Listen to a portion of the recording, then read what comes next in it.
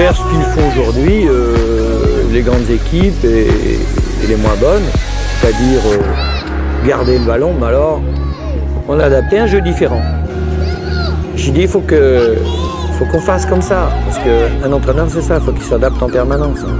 Et avec les éléments que j'avais, j'ai dit bon, on sera jamais rationnel avec ce type de Ascar, en commençant par carré 2. Donc, ça va être irrationnel, mais sans qu'on se casse la gueule.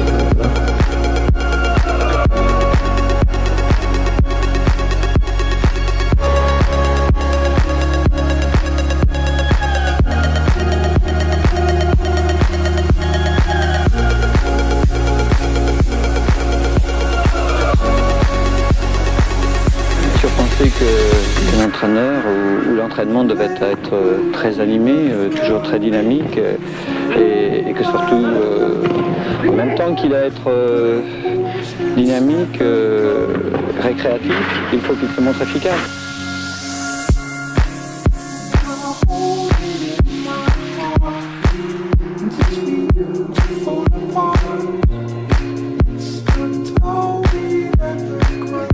On a mis en place ce jeu-là parce que j'ai jamais vu des joueurs aussi explosifs. Hein. Attention, hein. sur les yeux, c'est que ça peut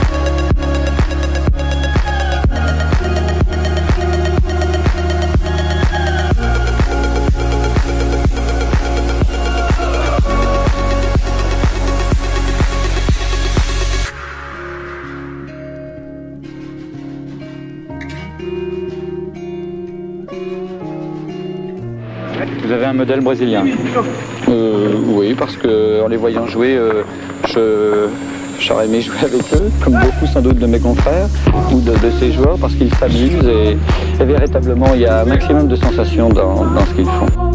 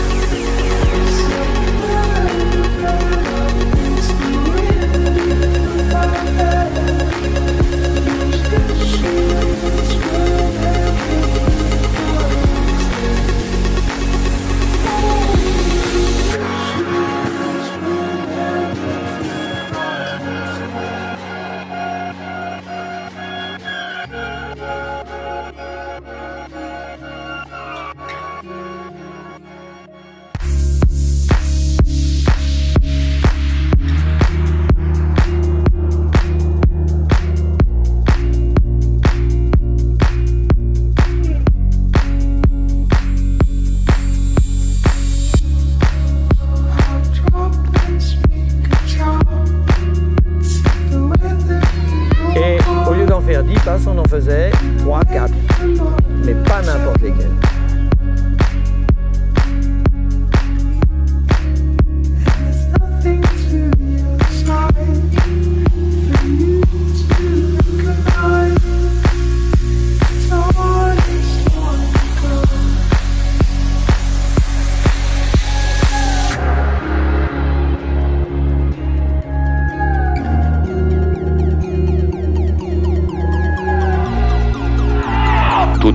Avis, le football étant un domaine qui évolue peut-être plus vite que les autres, euh, elles ont considérablement évolué. Mais je crois qu'à cette époque-là, nous étions un peu un peu à la pointe, un peu en avance sur les méthodes d'entraînement. Et je crois qu'avec Spurdo, ça suit un peu la même, la même courbe. C'est-à-dire qu'en les actualisant, il est aussi à l'avant-garde.